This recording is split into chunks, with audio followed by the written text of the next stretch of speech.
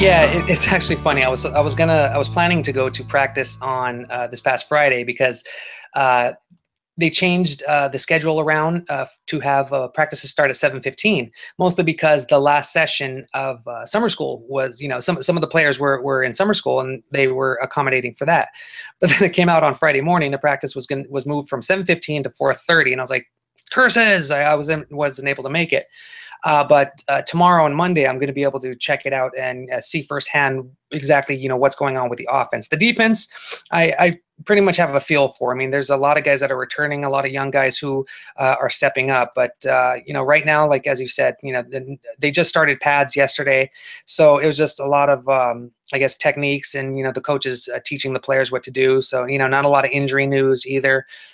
thank God. knock on wood. Um, the thing that uh, Mora and you know some of the coaches have noticed is that a lot of the freshmen uh, are are standing out. You know, Greg Rogers and um, there was another player he said uh, on the defensive line who stood out the first practice.